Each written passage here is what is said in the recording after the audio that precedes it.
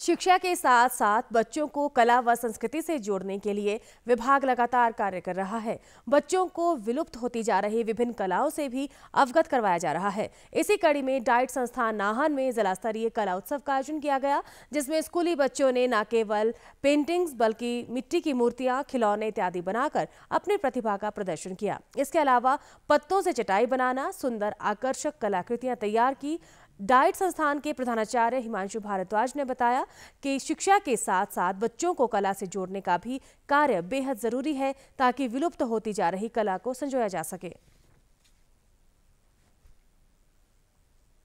हमारा जो नया जनरेशन आ रही है, वो उससे बिल्कुल अनभिज्ञ है। या हमें कहे कि अलिनेशन फ्रॉम सोसाइटी हो रहा है। हमें अपने कल्चर का ही पता नहीं है।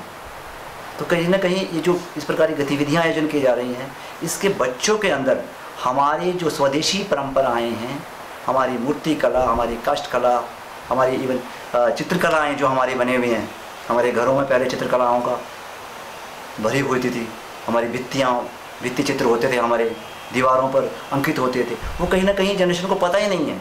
तो अब हमारे स्कूल के छात्रों के माध्यम से उनको एक मंच प्रदान किया जा रहा है ताकि वो इन कलाओं को उभारें और एक जो विश्व के जो पटल पर है, मानस पटल पर उसको सामने रखें।